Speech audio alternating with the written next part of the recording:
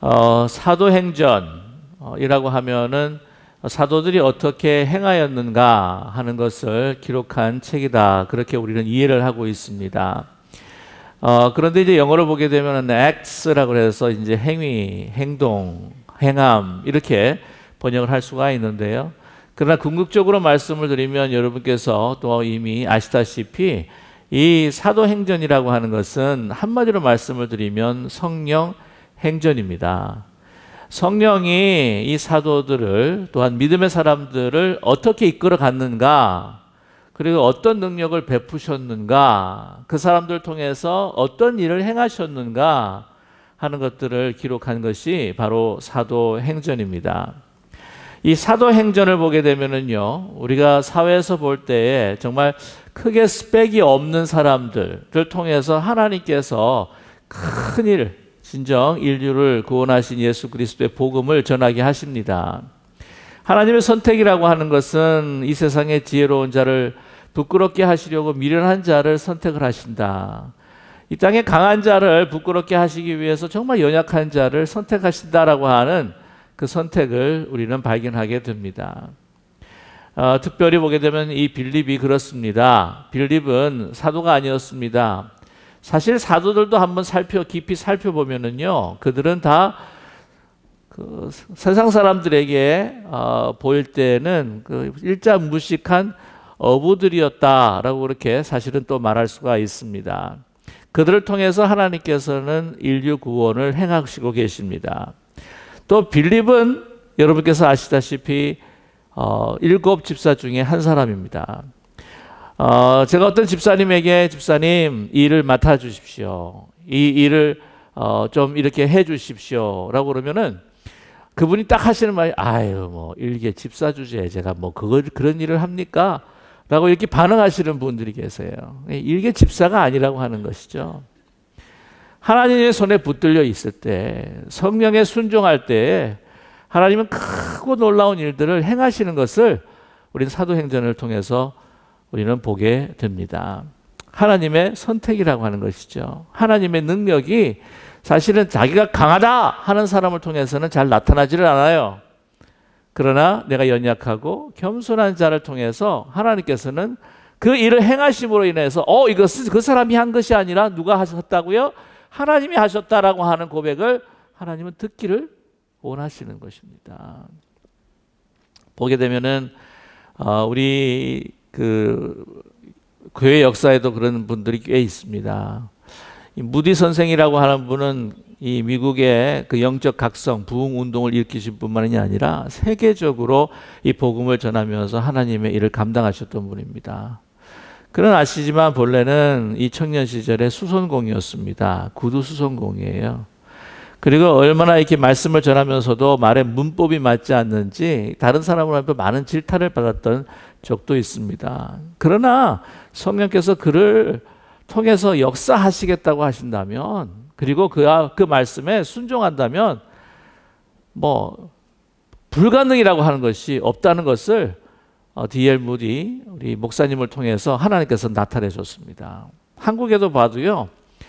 어, 이 간증을 들어보게 되면은 정말 이 복을 위해서 큰 일을 하시는 분들을 보게 되면 뭐 깡촌에서 태어났는데 서울에 올라와 가지고는 너무 고돼서 개척교회를 하셨는데 막 병이 걸리셔 가지고는 꼭 죽게 되었는데 하나님께서 은혜로 살려 주셔서 이런 간정들이 뭐 얼마나 많이 많이 듣는지 모릅니다. 저와 여러분 어, 우리 자신에 대해서는 결코 과대 평가하지 말아야 합니다. 아, 그렇지만 반면에 하나님의 성령의 그 능력, 하나님의 뜻을 결코 과소평가해서는 안 된다고 하는 것이죠. 하나님께서 그 어느 누구도 선택하셔서 하나님의 일을 만들어 가시고 또한 인도하여 주시고 그 일을 이루신다고 하는 것을 믿는 우리 모두가 되기를 간절히 소망합니다. 내가 무슨 일을 해? 뭐 내가 뭐 어떤 하나님의 역사를 할 수 있을까? 그게 아니라고 하는 것이죠. 저와 여러분 정말 하나님 앞에 잡혀진 몽땅 연필이라고 할지라도 하나님께서 그것을 쓰시고자 우리를 쓰시고자 할 때 하나님은 크고 놀라운 우리가 상상할 수도 없는 일들을 행하시는 하나님이신 줄로 믿습니다. 우리 기쁜 우리 교회도 그렇게 생각하면 좋겠어요. 우리가 새롭게 시작했습니다. 뭐든지 다 부족합니다.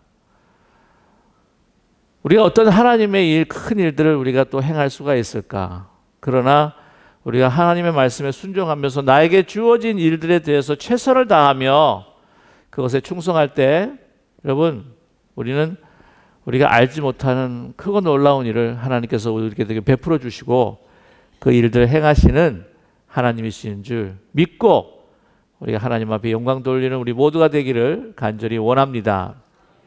오늘 빌립을 통해서 하신 일들은 참 놀랍습니다. 그를 통하여서 사도들이 행했던 기적과 이적들을 표적들을 나타내십니다.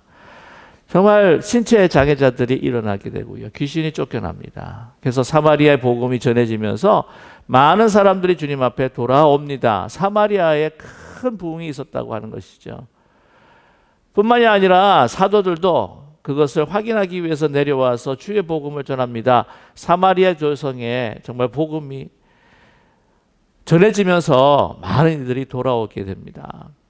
자, 그러면은 보통 아직 사마리아에는 많은 사람들이 또한 있기 때문에 빌립이 성공적으로 지금 목회를 하고 있으면 그냥 우리 생각에는 그냥 거기에서 계속해서 좀 남아 있으면서 그 사람들을 훈련하고 더 많은 사람들 이 지금 이 사마리아 도성에 어, 교회가 생겨지고 교회가 더 부흥을 하는 데 있어서 빌립을 그대로 두시는 것이 우리 생각에는요, 우리 판단에는 그것이 낫다라고 우리는 판단이 됩니다. 그러나 하나님께서는 그러지 않으셨다고 하는 것입니다. 오늘 말씀해 보시게 되면은 26절에 주의 사자가 빌립에게 말하여 이르되 일어나서 남쪽으로 향하여 예루살렘에서 가사로 내려가는 길까지 가라. 하니 그 길은 무슨 길이었다고요? 광야였다라고 이야기를 합니다. 보통 선교 전략에 있어서 우리 인간적인 판단은요. 좀 더 사람이 많은 곳에 가서 복음을 전해야지 마땅한 것이 아니겠습니까? 그래서 바울 사도 같은 경우에는요. 본인들이 특별히 항구 도시들을 찾아갑니다. 거기에는 많은 인종들이 들어와서 교류를 합니다. 거기는 많은 사람들이 살고 있습니다. 그래서 그것을 도 항구 도시를 전략적으로 어, 선교 전략으로 삼았다고 하는 것이죠. 근데 오늘 말씀을 보게 되면은 그 수많은 사람들이 있는 사마리아 성 사마리아 지역을 지역을 떠나서 하나님께서는 광야 길로 보내시는 것입니다. 참 이해하기가 쉽지가 않다고 하는 것이죠. 그러나 하나님께서는 계획이 계셨습니다. 광야에서 한 사람을 만나게 하시는 것이죠. 수많은 사람이 아니라 한 사람을 통해서 또한 하나님께서는 세계 선교를 꿈꾸고 시작하셨다고 하는 것입니다. 저 여러분 하나님께서 어, 오늘 이 사도행전을 보게 되면은요 이별을 또한 만들어 가시고 또 만남도 만들어 가신다고 하는 것을 우리는 발견하게 됩니다. 고통을 통하여서 예루살렘 성도들이 흩어집니다. 이별의 아픔이 얼마나 컸겠습니까? 그러나 어쩔 수 없이 이별하면서 복음을 가지고 이 사마리아 지역에 들어와서 전하였습니다. 복음을 전하였습니다. 또 이제 성령을 통하여서 이제 광야길로 내몰게 내몰게 하십니다. 그리고 한 사람을 만나게 됩니다. 저 여러분 하나님께서는요 이 만남을 통해서 역사하고 계시는데 우리의 아무리 한 사람의 만남 작은 만남이라고 할지라도 그것을 우리는 소홀히 해서는 결코 안 된다고 하는 것이죠. 그리고 우리의 만남과 이별이라고 하는 것은 어떻게 보면 하나님의 그 뜻 가운데 있는 신비라고 우리는 말할 수가 있습니다. 저 여러분, 우리 인생에서 한번 이별과 만남을 생각해 보십시오. 특별히 이 만남이라고 하는 것. 우리가 부모님을, 어떤 부모님을 내가 삼겠다. 어머니를 아버님으로 아버님으로 삼겠다 라고 선택한 적이 없습니다. 우리의 만남 우리가 계획해서 시간을 정해서 우리가 일상생활에 내 뜻대로 만난다고 생각을 하지만 그러나 우리의 삶 전체를 생각해 보았을 때 우리가 만나는 아주 중요한 만남들은 보면 우리의 뜻과 계획과 우리의 능력 바뀌었다고 하는 것을 우리는 고백할 수밖에 없습니다. 저희들 기쁜 우리 교회에 사명을 주셨는데 우리는 아픈 이별을 하고 또한 이렇게 만남을 가지게 되었습니다. 또한 이 만남이 우리에겐 기쁩니다. 어, 우리 기쁜 우리 교회에 누가 오실지 어느 정도 뭐 예상하신 분도 있었겠지만 또 이렇게 돌아보면 야, 예상하지 못한 분들도 여기서 만나 함께 신앙 공동체를 만들어 나가는 것을 볼 때에 이것은 바로 하나님께서 계획하시고 은혜라고 하는 것을 우리는 깨닫게 됩니다. 좋아 여러분. 이 하나님께서 주신 이별의 아픔이 있었지만 그러나 그것도 하나님의 허락하심과 허용하심 가운데 있었고 또한 우리의 이 귀한 만남은 하나님의 뜻 가운데 있었다고 하는 사실을 우리가 고백하면서 서로를 바라보면서 참 소중한 분, 하나님께서 나로 하여금 만나게 하여 주신 분, 그런 믿음을 가지고 서로를 바라볼 수 있는, 서로를 소중하게 여길 수 있는 우리 모두가 되기를 간절히 소망합니다. 오늘 하나님께서는 이 광야길에서 한 사람, 예상하지 못한 한 사람을 만나게 해주셨습니다. 그것은 성령께서 예비한 것입니다. 우리의 가는 길, 정말 순종할 때에 그 예비하는 길로 갈 때에 하나님께서는 역사하신다고 하는 것이죠. 오늘 보게 되면은요, 어, 에디오피아 사람 곧 에디오피아 여왕 간다게의 모든 국고를 맡은 관리 내시를 만나게 됐다라고 그렇게 이야기를 합니다. 에디오피아 여왕 간다게의 모든 국고를 맡았던 이 내시라고 한다면 거기서는 보게 되면은 어, 뭐 권력의 2인자라 그렇게 말할 수도 있을 것입니다. 근데 오늘 보게 되면은 이 에디오피아 사람이 이 네시가 예배하러 예루살렘에 갔다라고 하는 말을 우리는 어, 알게 됩니다. 그 예루살렘에 예배를 하러 에디오피아 사람이 갔을까? 우리가 사실 너무 잘 알고 있지 않습니까? 이 에디오피아의 이 히브리 성경 그리고 하나님의 말씀이 들어갔던 것은 바로 시바 여왕이 솔로몬을 찾아와서 이 방문을 하고 또한 시간을 보내면서 다시 돌아갔는데 어, 이 기록이나 여러 가지 전승에 의하면은 이 어, 솔로몬의 아이를 시바 여왕이 가지게 되었다. 그래서 그 후손으로부터 이제 어, 그 소위 개종된 하던 유대인으로서 또한 그 율법을 지켰던 사람들의 후손들이 많이 탄생을 출생을 했다라고 하는 기록들이 있습니다. 그래서 그 가운데 한 사람이라 우리는 그렇게 추측을 할 수가 있는데요.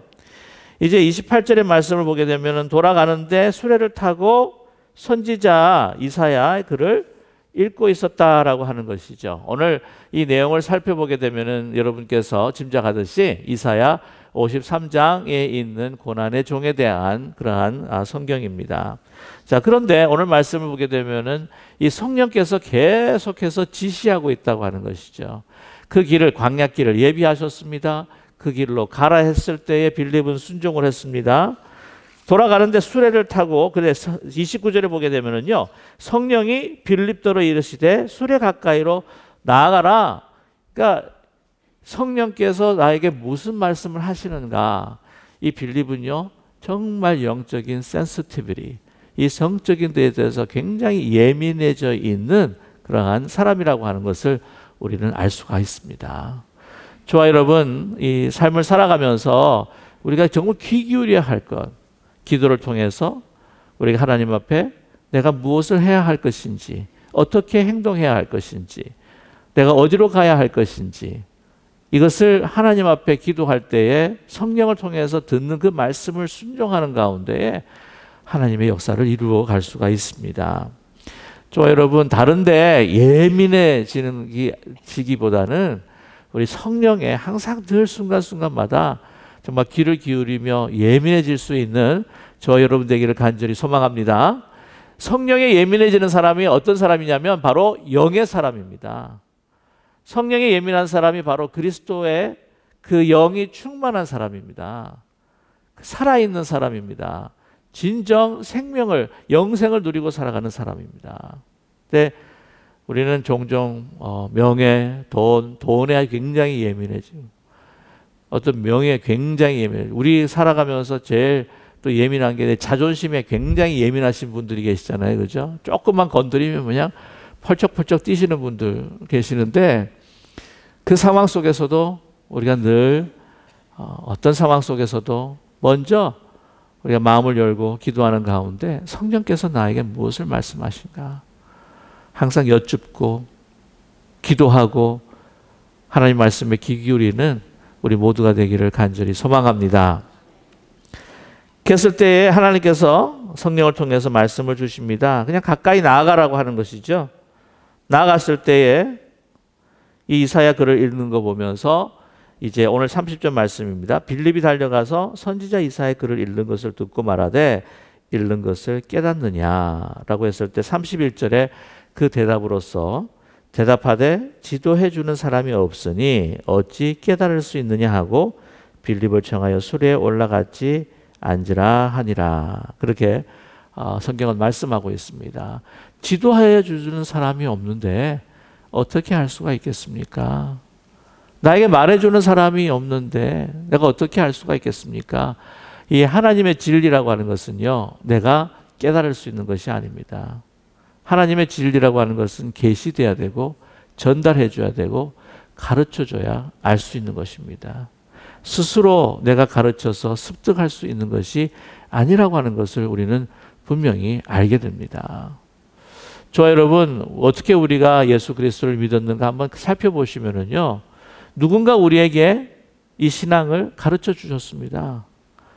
여기 보게 되면은 뭐 부모님들한테 아니면 친구들을 통해서 뭐 어떤 상황 속에서는 갑자기 그냥 어 요즘에 그 크리스천 아디클을 보니까요. 그 아이시스 어떤 그 대원 같은 경우에는요. 정말 예수님께서 꿈에 나타나시더래요. 나타나시면서 어 제가 다음 주 다음 토요일 날 우리 바울에 대한 말씀을 하면서 좀 더 구체적으로 말씀을 드리겠지만 정말 나타나시더래요. 그래서 말씀해 주시더래요. 그것도 예수님께서 직접 나타나 주셔서 말씀을 해 주시니까 아는 것이지 않습니까? 누가 말, 말을 해주고 가르쳐 주고 지도해 줄 사람이 필요하다는 것입니다. 어, 제 친구 가운데에 그 목회하시는 분 그러면서 어, 그 저한테 이야기하시는 그 간증을 하나 듣게 되었는데요. 어, 자기가 가장 친한 친구가 있었는데 그 친구가 어, 예수를 믿지를 않았습니다. 근데 예수를 믿지를 않았는데 나중에 어떤 다른 계기를 통하여서 예수를 믿게 된 거예요. 근데 예수를 믿고 난 다음에 제 친구 목사님한테 그렇게 이야기를 하더랍니다. 너는 내 친구인데 아니 목사면서 어떻게 예수에 관해서 나한테 말을 한 적이 없냐? 그랬더니 그래서 그렇게 이야기하더니 내가 말해도 너 믿을 것 같지 않아 가지고 말하지 않았다고. 그렇게 저한테 목회를 하는 가운데 그런 경험이 있다고 저한테 이야기를 해주더라고요. 왜 나한테 아니 목사면서 아니 나한테 왜 이야기를 안 해줬냐? 이렇게 좋은 이렇게 좋은 것이면 내가 미리 미리 믿었을 텐데 그런 아, 고백을 하더라는 것이죠. 지도해 주는 사람이 없으니 그래서 이 복음을 가지고 전하는 그 전하는 발이 얼마나 아름다운 그 로마서의 기록도 우리는 어, 기, 억하게 됩니다. 저와 여러분, 어, 우리가 보면은요, 우리 눈에 아유 저건 저 사람은 믿을 수 있는 내가 전하면 믿을 수 있을 것 같은 사람 이걸 전하면 아이고 뭐 정말 뭐 통하지도 않을 사람 이런 것을 구별하는 우리가 아니라 정말 때를 얻든지 못 얻든지 우리가 하나님의 말씀을 전할 수 있는 우리 모두가 되기를 간절히 원합니다. 여러분 생각보다도요 마음이 열려 있는 분들을 많이 만나게 됩니다. 우리는 판단할 때 그렇게 판단을 해요. 아우 저 사람은 뭐 모든 거를 다 가진 사람인데 뭐 예수님이 뭐가 필요하겠어? 나 기다릴 거야. 저 사람 망할 때까지. 망하면 마음에 공급해져서 그때는 이제 다가가 가지고 다 모든 것을 잃어버리니까 이 세상에 믿을 거 없지. 뭐 이렇게 오프로치 해야 믿지 않겠느냐라고 그런 생각을 가진다는 거예요. 그러나 여러분 모든 것들을 다 가진 사람이라고 할지라도요 그 마음에 공급함과 갈급함이 있는 겁니다. 오늘 내시 같은 경우에도 정말 그 에디오피아의 권력의 2인자였지만 그래도 경건을 추구하는 사람이 있어요. 고넬료 같은 사람은 로마 백부장이지만 그러나 그 마음에 권고함이 있고 경건함을 찾는 사람이 있다니까요. 그러니까 사람을 판단하지 말고 또 성령의 능력을 과소평가하지 말고 정말 때를 얻든지 때를 얻지 못하든지 다가가서 정말 성령의 말씀에 순종하면서 말씀을 함께 나누고 전할 수 있는 우리 모두가 되기를 간절히 소망합니다. 제가 이런 말씀을 한번 드리기를 원하는데요. 이 버스에 가면서 아니면 아니면 전철에 저기 타고 가는 그 승객들한테 갑자기 이제 이 버스를 타가지고는 주 예수를 믿어라. 예? 주 예수를 믿어야 여러분의 삶에 구원이 임합니다. 하고 막 외치는 분들 있잖아요. 그런 분 한번 가끔 보셨는지 모르겠는데, 아유, 저렇게 전도해 가지고는 세상 사람들한테 손가락질이나 받고, 이 정말 복음이 들어갈까? 저도 그런 생각을 한번 한 적이 있었습니다. 그런데 어떤 분의 그 간증을 들었어요. 자기가 정말 자살하러 죽으러 가는 그 버스를 타고 가는데 이제 버스를 타고 어느 지점에 가서 자살을 하려고 하는데 어떤 한 사람이 불쑥 올라오더니 어? 여러분의 삶의 해답은 오직 예수 그리스도이십니다. 그 예수 그리스도를 전하더라는 거예요. 그 한마디에 이 마음이 변하, 변하게 된 거죠. 그러니까 보면 저래 가지고는 전도가 될까? 저래 가지고는 복음이 들어갈까? 아니라고 해요. 성령님께서는요 예상을 우리의 생각과 상상과 예상을 벗어나시는 분이세요. 빌립으로 강야로 가라고 하는 겁니다. 우리 생각하는 인간의 선교 전략, 우리의 판단으로 가질 수 있는 선교 전략을 넘어서서 하나님께서 인도하시고 성령께서 이끌어 가실 때 하나님 역사하셔요. 우리가 판단할 것이 결코 아닙니다. 오늘 말씀하고 계십니다. 그래서 어, 누가 34절입니다. 그 내시가 빌립에게 말하되 청컨대 내가 묻노니 이 선지자가 이 말하는 것이 누구를 가리킴이냐 자기를 가리킴이냐 타인을 가리킴이냐 라고 묻습니다. 그때에 35절 말씀을 보게 되면 입을 열어서 그죠? 입을 엽니다. 입을 열어야 됩니다. 그리스도인들은 이 글에서 시작하여 예수를 가르쳐 복음을 전하니 어, 그가 누구라? 그가 예수 그리스도입니다. 했을 때 항상 그 말씀을 묵상하면서 읽고 이게 누구일까? 누구일까? 궁금증을 갖고 있었는데 소위 말하면 인라이트먼트라고 하는 거예요. 번쩍하는 거예요.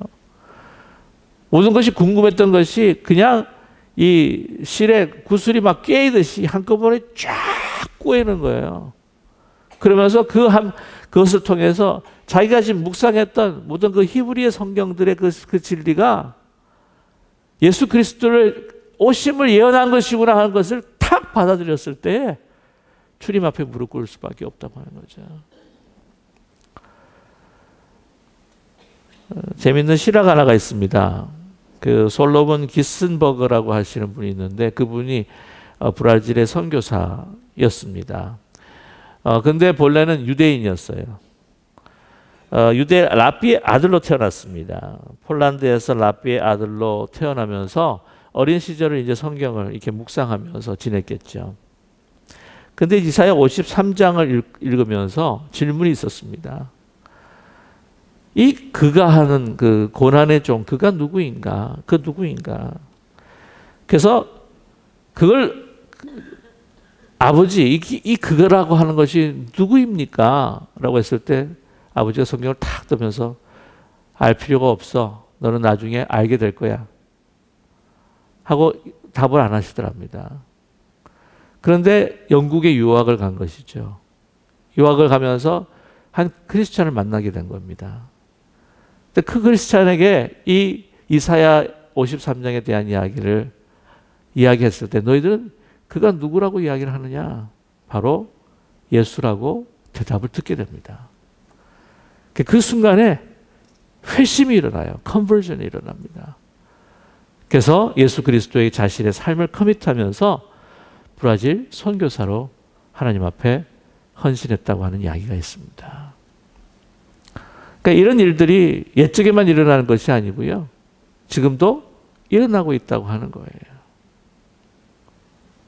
이 빌립을 통해서 하나님께서 그에게 참으로 인생에 있어서 궁금한 그 말씀 가운데 경건을 찾으면서 궁금한 이 에디오피아 내시에게 그 말씀을 주었을 때에 이 한 사람을 통해서 이제 에디오피아 세계 선교의 선교가 시작이 되고 있다고 하는 것을 우리는 발견하게 됩니다.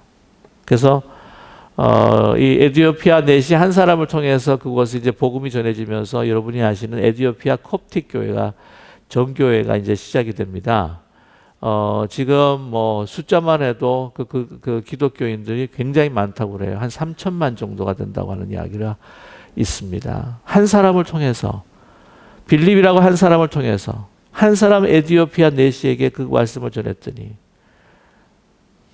그 나라가 구원받는 세계 선교의 횃불이 이제는 시작되는 놀라운 역사가 일어나게 됩니다.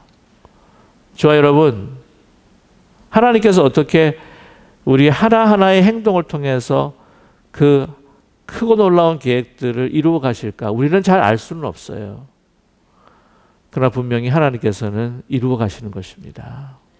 저와 여러분, 어, 내가 어떻게 할 수 있을까? 내가. 뭐, 한 사람이, 그러나 한 사람이 성령의 말씀에 순종하였더니 한 사람을 만나서 하나님의 크고 놀라운 역사를 일으켰다고 하는 것을 우리는 분명히 기억하고 저와 여러분 하나님께서 저와 여러분을 어떻게 사용하실지 모릅니다. 기쁜 우리 교회를 어떻게 사용하실 줄 우리는 알 수 없습니다. 그러나 성령에 순종하는 하나님의 사명에 우리 자신을 헌신할 수 있는 우리 모두가 되기를 간절히 원합니다. 폭발적인 엑스플로시브한 하나님의 부흥의 역사와 또한 복음의 역사가 우리 기쁜 우리 교회를 통해서 또한 이 지역뿐만이 아니라 또 한인 동포 사회 있는 모든 잃어버린 영혼들을 향해서 또한 이 시대에 무너져가고 있는 교회를 다시 세움에 있어서 기쁜 우리 교회를 저희들의 삶을 사용하여 주시옵소서. 우리가 함께 기도하며 헌신할 수 있는 우리 모두가 되시기를 간절히 소망합니다. 우리 함께 같이 마음을 합하여서 함께 기도하기를 원합니다.